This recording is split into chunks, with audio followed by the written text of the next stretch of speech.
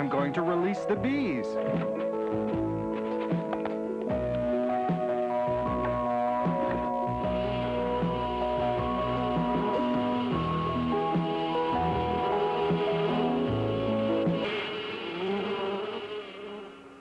The bees, the bees are here.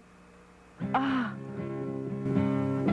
Master Reynolds, Master Reynolds, the bees, the bees are in the garden.